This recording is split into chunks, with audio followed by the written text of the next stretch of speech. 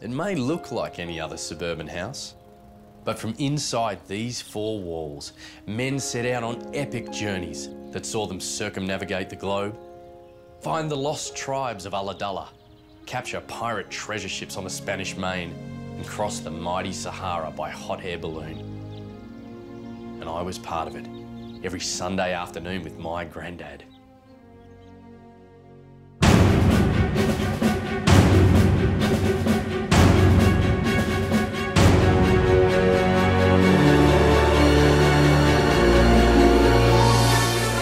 Pilot to tail gunner.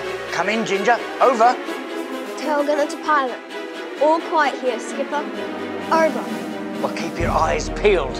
We'll be over the target soon. And suddenly the sky would be full of Messerschmitts, and we'd be throwing the lot at them. Both barrels, full metal cricket. Bandits at 12 o'clock. Bandits at 12 o'clock. We stuck out our chins, and we bit our stiff upper lips as we flew into a storm of lead, dicing with death in a coal black starless sky above a shattered city ablaze with firebombs. Target sighted. Three, two, one. Bombs away! The plane lurched upwards, free of its deadly dead weight, and we soared away from the carnage. And we cheered and we screamed with blind relief as far below our squadron leader plummeted to his doom.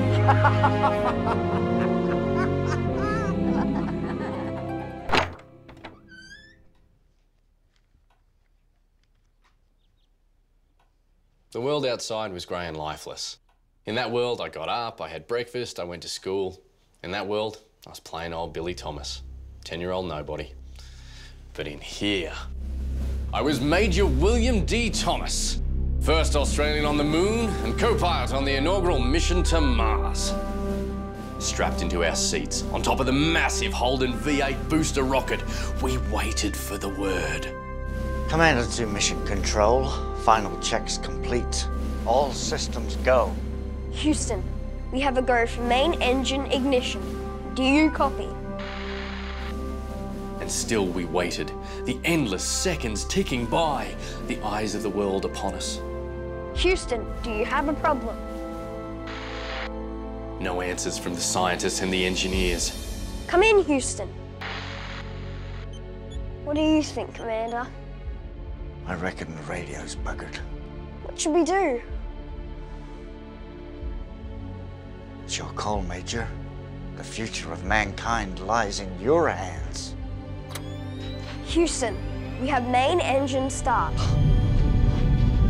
Confirm main engine start. Maximum thrust.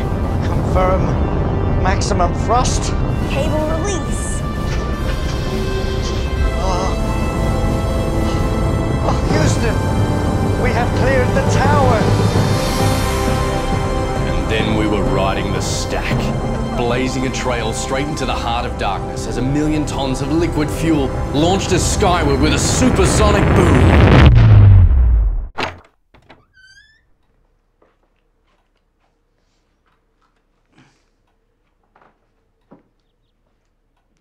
I don't think my granddad was different from any other granddad. He just never took me to the beach or the footy. He took me to Antarctica instead. Hunkered down in a ragged tent, an icy wind sucking the marrow from our bones. We listened to the soft thud of snowflakes as big as dinner plates as they piled up in porcelain white drifts that blocked out the sun. Will this terrible wind never stop howling? I think that's the Huskies, old bean. Afraid not, old boy. We ate the last one yesterday. So this is it, old chap. It's been an honor knowing you, old man.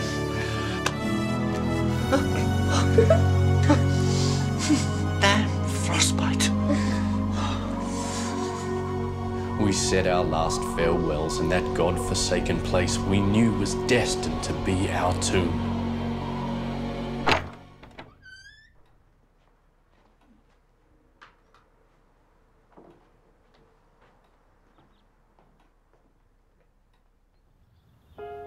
Sixty-two Acacia Road, It might not look like much, but once upon a time, this was the most exciting place in the universe.